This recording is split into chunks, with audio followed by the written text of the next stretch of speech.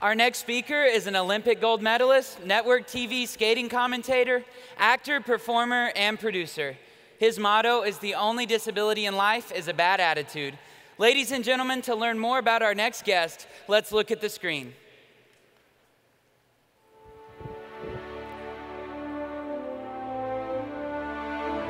Scott Hamilton is loved the worldwide for his many gifts and talents.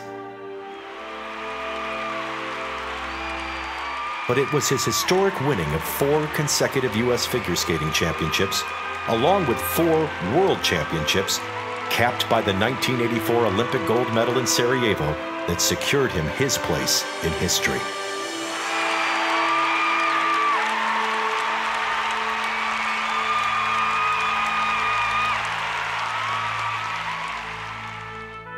From an early age, a grave childhood illness plagued his growth and strength. At one point, he was given just six months to live. Young Scott tried all types of therapies, but finally, a chance meeting with ice and figure skating changed all that. The cold, moist air of the rink, along with the exercise, miraculously cured him. Skating became strength. Strength became talent. Talent became gold and gold became opportunity. Personally, I'd like to thank you for calling me after I won my medal. I'm sorry if I was short with you, but I'm short with most people. In 1986, Scott saw a need in skating and co founded Stars on Ice. Stars has entertained millions of fans around the globe, and Scott, constantly the showman.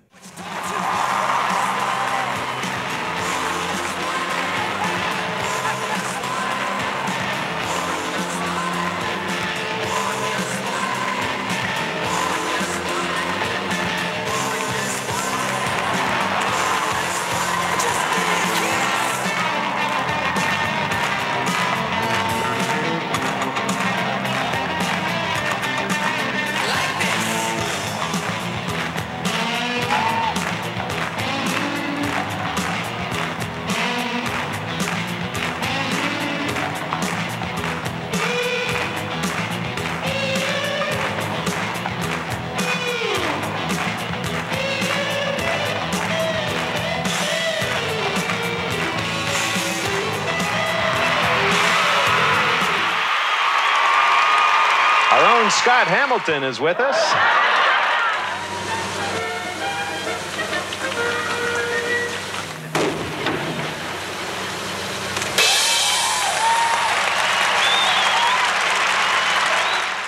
I believe that cleans everyone out. Not so fast, Mr. Big. Yes, Mr. Hamilton. Scott Hamilton. And what brings you to Las Vegas, Mr. Hamilton? Skating. Ice skating. In 1997, Scott was diagnosed with testicular cancer. The skating star had to stop and take care of himself. Within seven months, Scott had returned to the ice.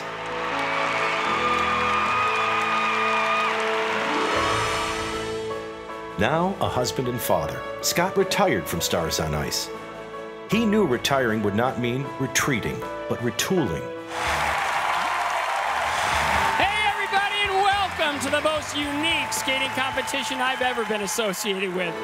Scott took his performance talents and business knowledge and poured himself into giving back. Scott works with multiple charities, including Scott Hamilton Cares Initiative that he co-founded with the Cleveland Clinic. This growing foundation provides support, mentorship, and resources to cancer patients around the globe.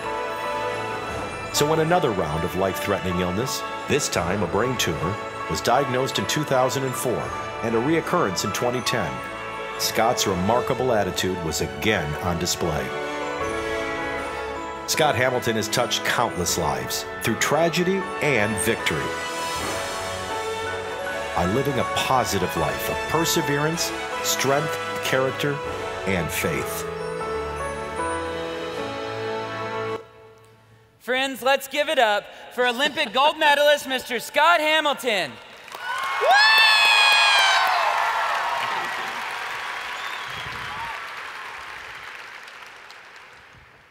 You can do better than that. Let's hear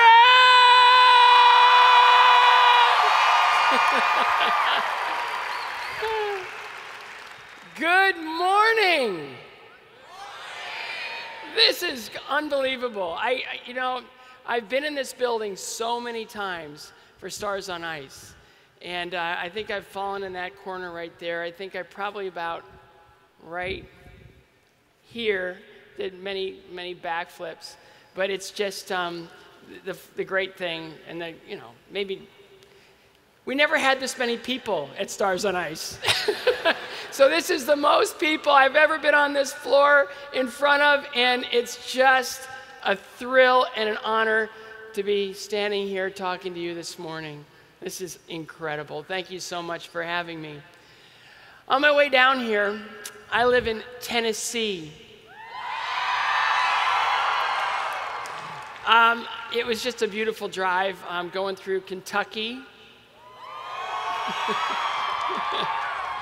The, you know, how the, the colors have peaked, and it was just so beautiful. And I was thinking about, you know, kind of how I wanted to talk to you all, and then I realized that, that you are young.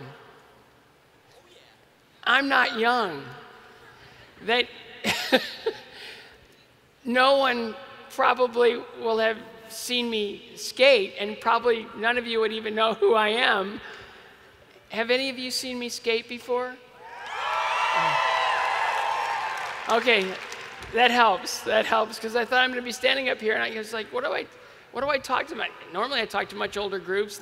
I have a relationship of years of skating in front of them, and and now I'm I'm talking to this beautiful group of of young people, and uh, and it just made me. It just threw me back to, to my time when I was I was your age, and I just I, I had the most incredibly fun time just thinking about those years and just thinking about what you guys are going through right now. I mean, when I was in high school, I had a, um, I mean, does anybody watch that 70s show?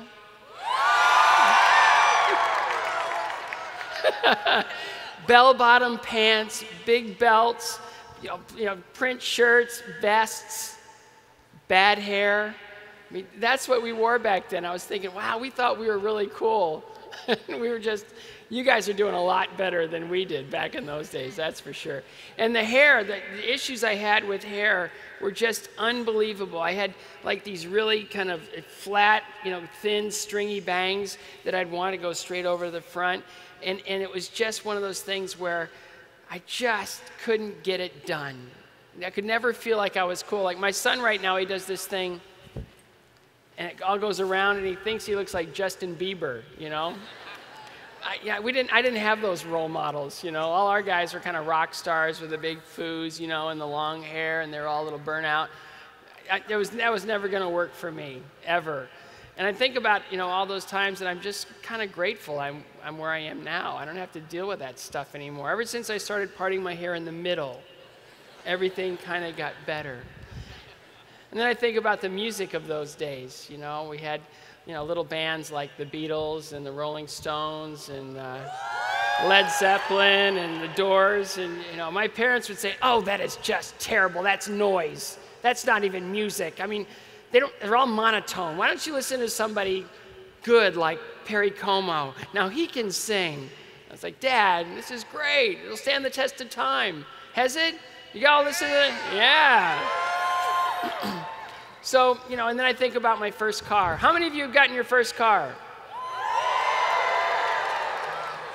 Is it the car of your dreams? I heard a lot of no's in there. Mine was a 66 Volkswagen Bug. and the sunroof leaked. So every time I every time it rained or anything, I just get drenched, and it was just it never started in the morning. I was always late to get to the rink, and and it, but those are the times. These are the times that you remember so fondly. And I was just having the the best trip, just thinking about it. I am an eternal optimist. Forever an optimist. I'll find good in just about anything. I have a really good friend that says he can't take me seriously because I can find good in anything. He goes, This is a rough world. This is, this is a world that's full of heartache and misery. How can you find good in any of that? And it's just, well, that's just kind of the way that I was, I was brought up and it's kind of life experiences brought me to this place. You know, um, the, the newspapers that are all disappearing, there are these things called personal ads. Have you ever heard of personal ads? They're all, it's all about dating. It's all about meeting people. You put a description, a short description of yourself in a newspaper, and it kind of, you know, allows other people to kind of pique their interest and get involved, and, and it'll call you or ask you out on a date or something like that. And my buddy said, why don't we talk about reality and, and what a real, honest personal ad would look like? And I just started laughing. And he goes, All right. I go, You want to hear mine? He goes, Shoot. And I go, All right. Short, bald, half neutered, chemoed, radiated, surgically repaired male figure skater of unknown ethnic origin seeks beautiful woman, women, woman for long walks, laughter, and an interest in my unique hobby of collecting life threatening illnesses. and I found one. I can't believe it. It's incredible. so I was, um, I, I grew up in Ohio.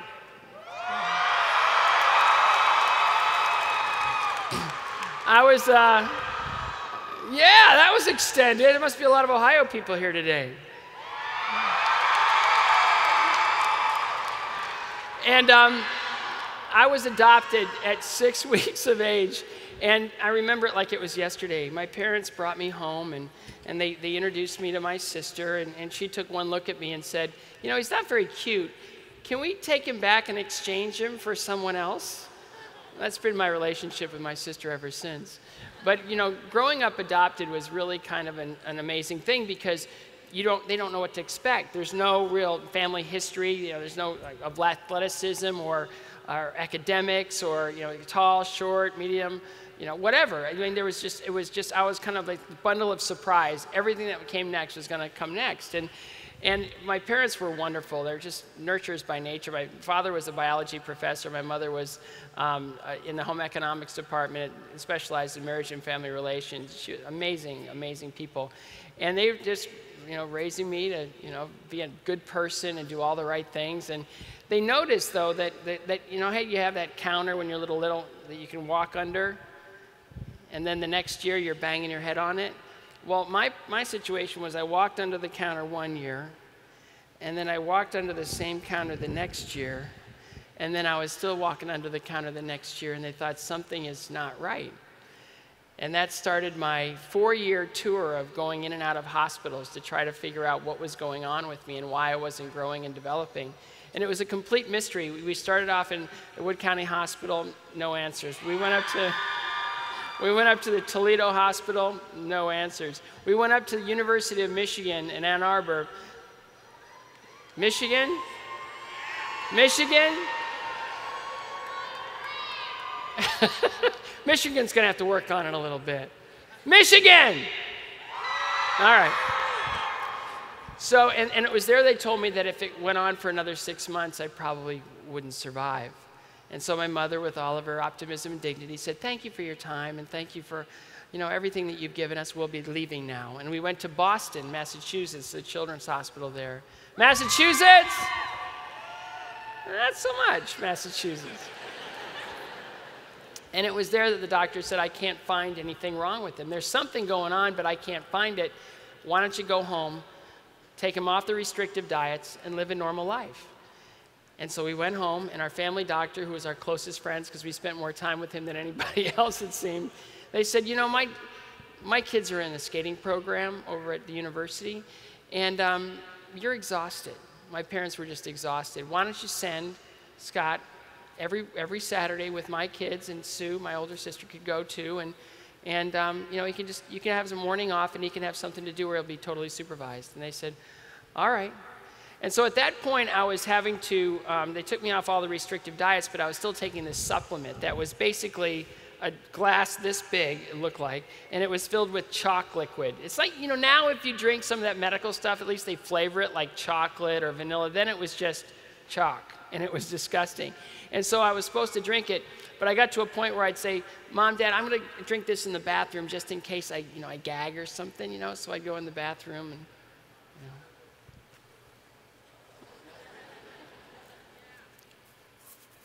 Oh, that was terrible. And it was one day when I was in there and I was dumping it out that I looked and my mother was standing behind me. and, I needed these supplements, so what they decided to do was they put a tube down through my nose into my esophagus, and you saw the picture. It was uh, taped to my face. That was my first day at the rink. Was I had this thing taped to my face, and I walked in. I was so excited to be around a whole bunch of kids because I, you know, in out of hospitals all those years, I never really got to spend time with well kids that much. And I walked in, and I was really like excited, and they all looked at me like. I go, what, what's wrong? And they go, what's that thing coming out of your nose? And it's like, oh, this, it's a nose tube. I'm, I'm fed through this tube. Come on. You've never been fed through your nose before? Really? and so I started skating, and I realized that I was holding onto the wall and letting go, holding onto the wall and letting go. And pretty soon, I was going further without holding onto the wall. Pretty soon, I was going all the way around the rink, and pretty soon, I was skating as well as the well kids. And for the first time in my life, I had self esteem. It was really powerful. And then pretty soon I was skating as well as the best athletes in our school. And it was so exciting to think that I could do something as well as other people. And what happening was I started to, my legs started to develop, my, my belly started to get flatter. I mean, maybe I should go back to skating now. Um, but I started to grow and I started to develop and I started to feel good and it was this miraculous thing. It was just amazing. And so as I went through my skating, I, you know, I did okay, and then I'd, you know, fail, and then I'd get hurt, and I'd do all these, the full adventure of skating.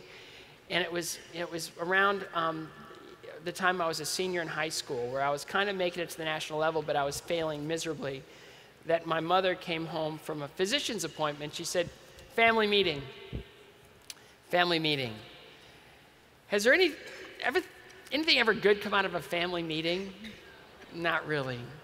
She said, I just come back from the physician's office and they found three lumps in my left breast. I've been diagnosed with a disease called cancer.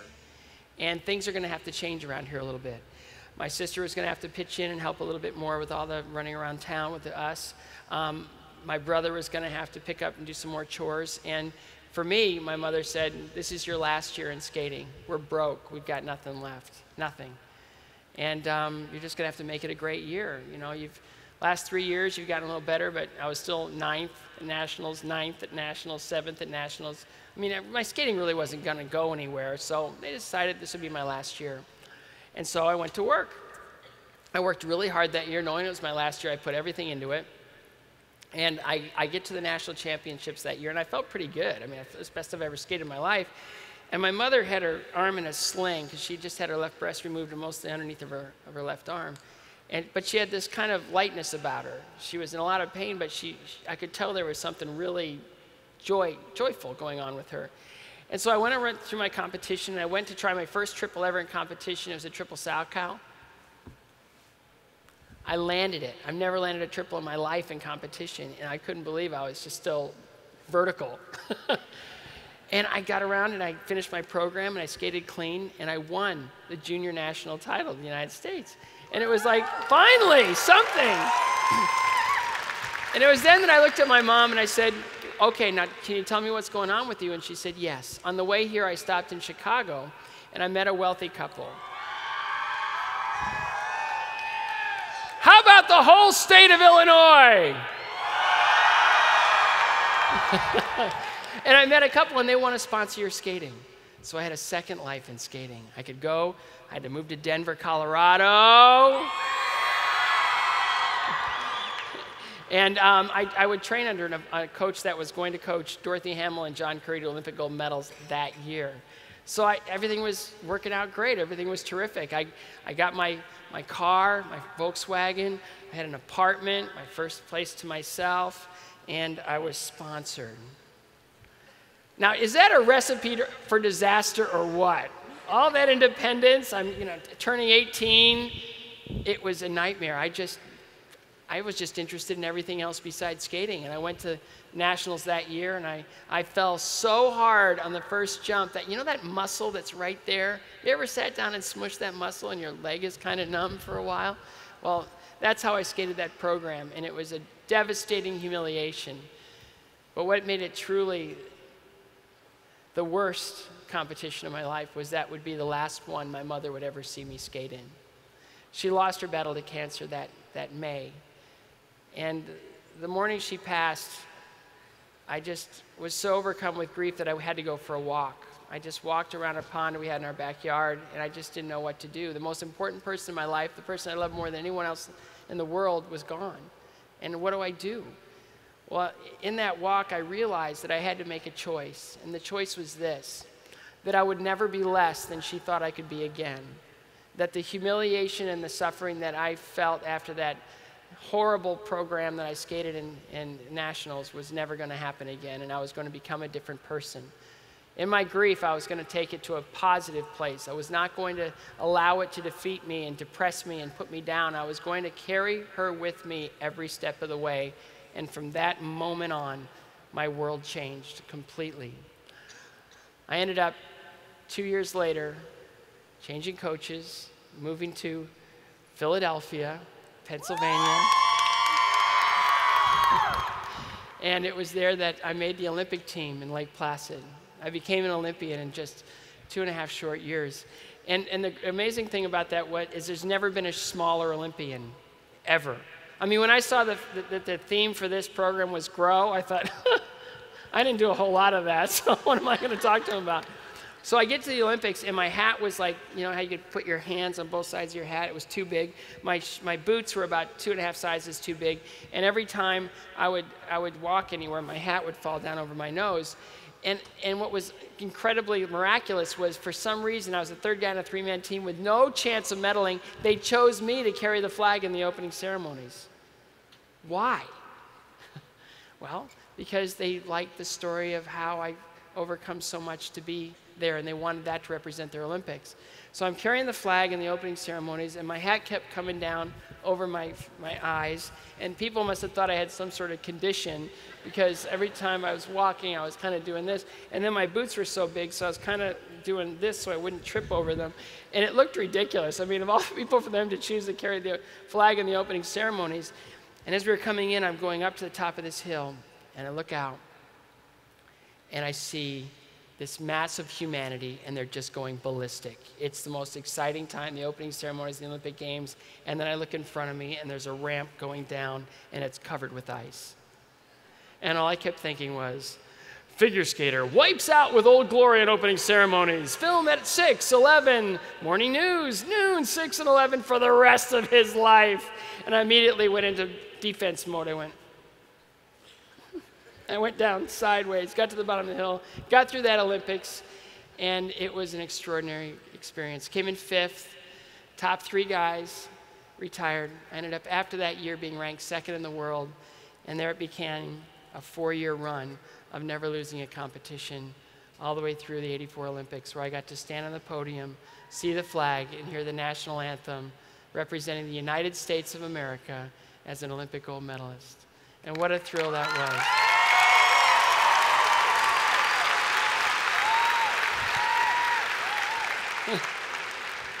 but now it's time to get to work. I signed with Ice Capades, a big show, huge machine.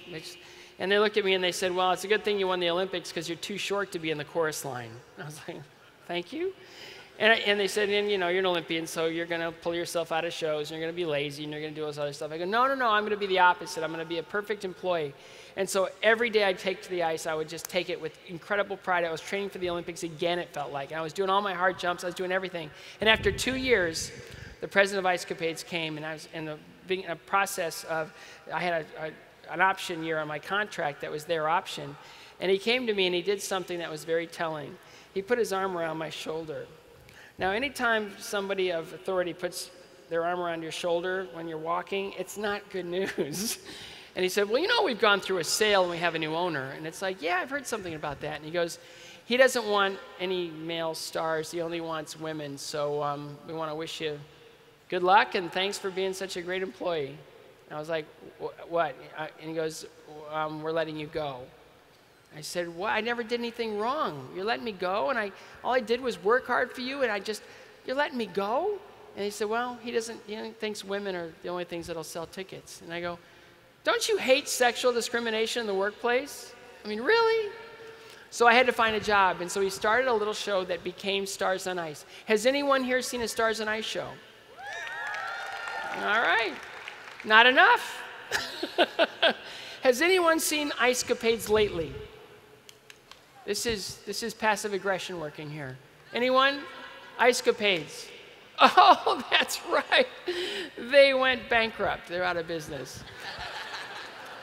I guess they didn't have enough men to sell tickets for them. So, I'm on, see, I told you it was passive aggression. Not a good thing. I don't recommend it. So I'm on Stars and Ice. We're in year 11, and the business is just booming. We're selling out. We're doing really well. We'd even have crowds like this, which is extraordinary, amazing, awesome. And, and we're doing really well, but I had a hard time standing up. And I had a lot of abdominal pain. So 50 cities into a 60 city tour, I went to the, the hospital in Peoria, Illinois. And the doctor there said, We seem to have found a mass. And I look at him and I go, Mass? I go, The word mass has never been used in description of me ever.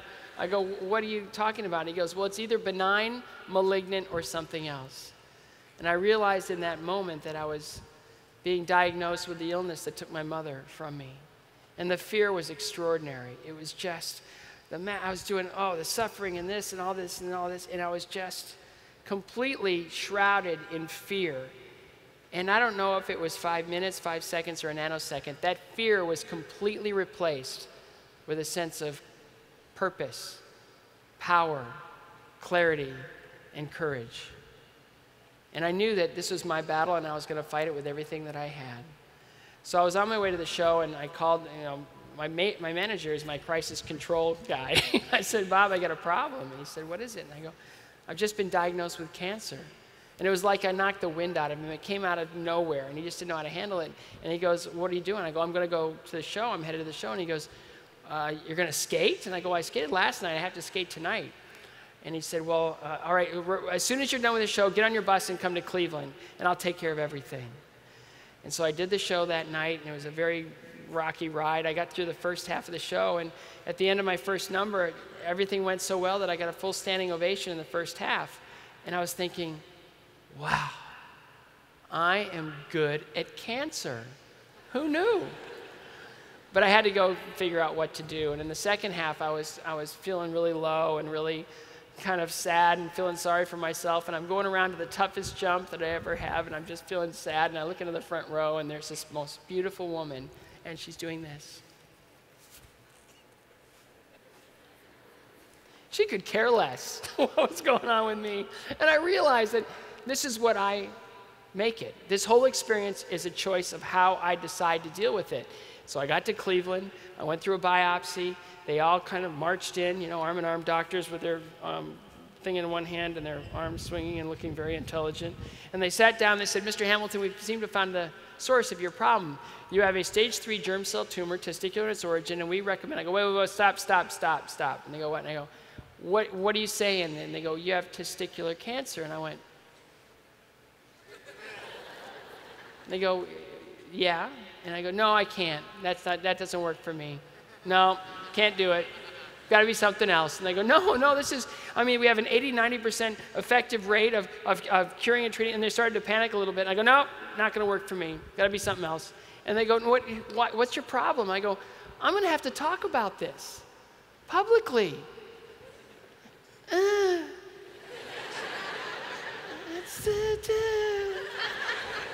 and I said, what, what, I go, well, you know, I'm going to have to go to the Today Show. I'm going to have to do the Today Show. And I'm going to, okay, I'll talk to Matt about this, but not Katie, because these are my boys we're talking about, okay? And they go, no, you need, to, you, need to take this seriously. And I go, no, I don't. I can take this in any way that I want to take this. And I don't want this to be a horrible, nasty, negative experience. I want it to be amazing. I want it to be full of joy and great memories. And they go, uh, we, uh, and I could he didn't know how to do it. But I said, just no one's allowed into my room with a lower lip. I don't want to do this. Oh, how could this happen to you? And why is this so? No, you got to make me laugh, and you got to bring the good stuff. All right? I just want it to be all good. So my nurse would come in, loved her. Come in, well, it's party time. With my chemo bags.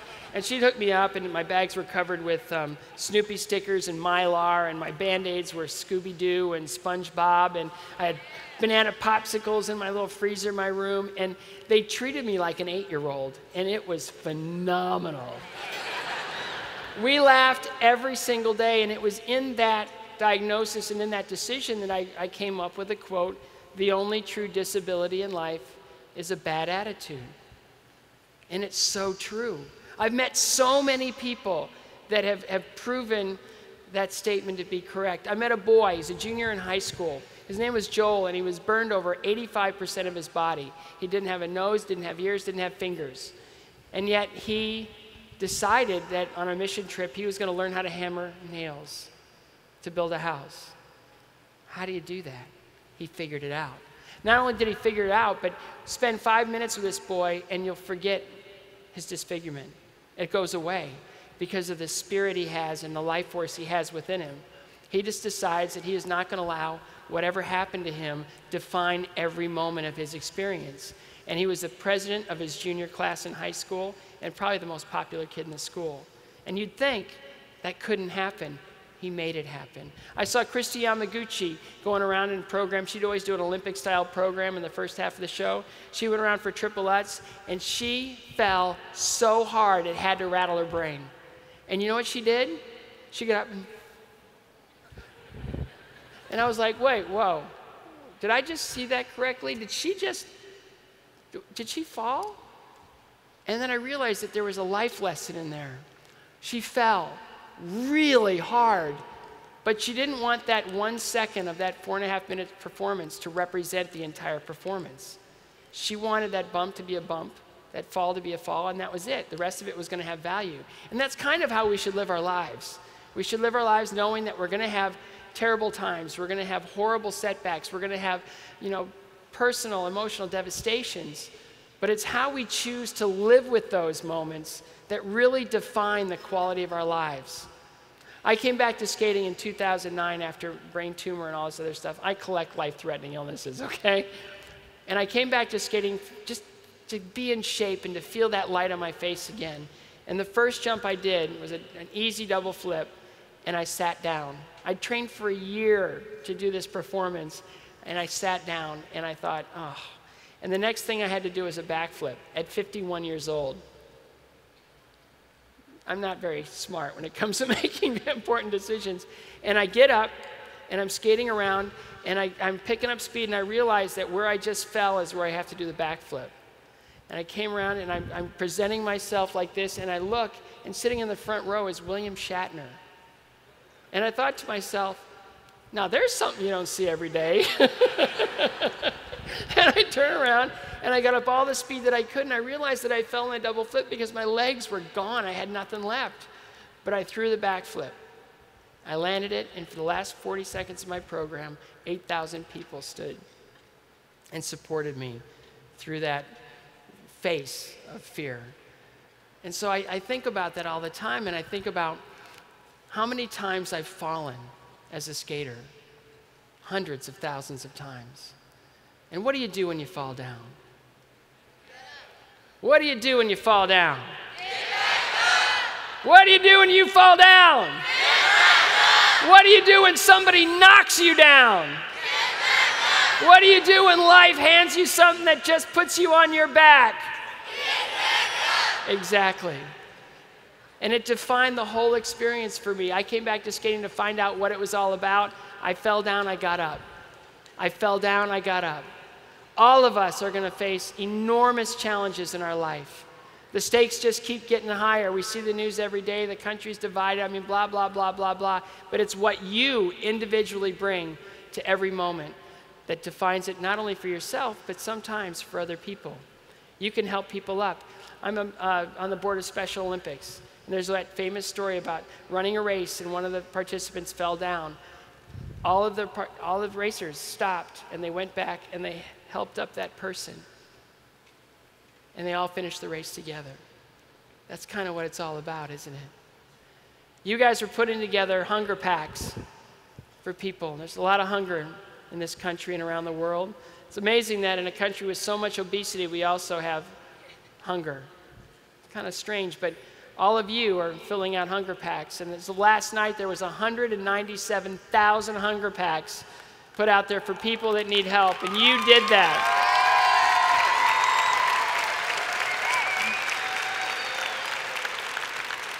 Half of those hunger packs are going to Haiti, and my wife has fallen in love with the Haitian people, and she's gone down there three times to serve. You have no idea of the poverty in Haiti. You have no idea how underwater they are economically and, and, and the needs that they have. But all of you here, all of you here are learning how to supply one of the three basic needs a human being has, and that's food. And I look at your faces and I, I, I just see the energy that you have, the, the, you know, the youth and the, uh, the excitement about opportunity. And I just am so filled with hope. Normally, people my age start to get grumpy. You know, oh, these kids, they don't get it. They just don't understand. They just, I walked 40 miles in snow up to my waist to get to school. no, I look at you and all of you that I've met, and I am filled with hope. The promise of the future is going to be incredible because you are going to make it happen. You are going to change this world. And I am thrilled beyond words. When you fall down, you get up. The only true disability in life is a bad attitude. And I got to tell you, I heard at the end of a sermon one time for youth, it was the most amazing two words I've ever heard. It's not the do good, be good thing, it's just two words, and I want to give that to you right now. Be amazing. I wish that for you. Be amazing. So honored to have stood in front of you, and I just, ah, I'm so happy that I had this experience. And I hope that you'll carry some of the words that I've given you and, and allow it to help you through difficult times because we're all in this together.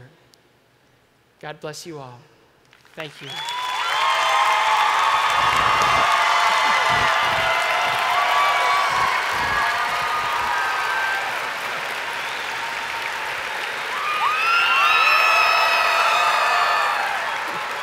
Mr. Hamilton, thank you for those encouraging and hope filled words. The message you've shared with us today has inspired our students to grow their passion for life. It's been a pleasure to have you at the 85th National FFA Convention and Expo, and it's an honor to call you a friend. Thank you so much. Ladies and gentlemen, Mr. Scott Hamilton. Thank you.